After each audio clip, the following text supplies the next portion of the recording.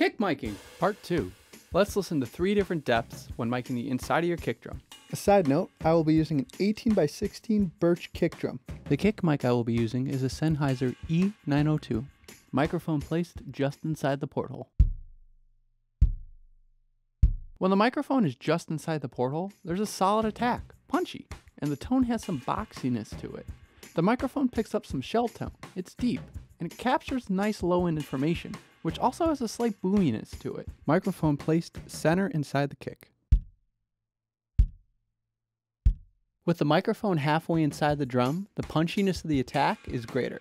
There's a more focused tone, the sound is shorter, and the boxiness is not as hollow. In addition to a nice low end, there's some more mid lows captured, and the boominess is less. Microphone placed one and a half inches away from the batter head inside the kick. At one and a half inches away from the batter head inside the kick drum, the attack is strong, punchy, and almost has a little bit of clickiness to it. The tone is short, focused, and the lows are not as weighty. In addition to the mid lows, we also begin to capture some mid range frequencies. Now, these are some of the things that I hear, but I want to know what you're hearing. Where do you place the mic inside your kick drum?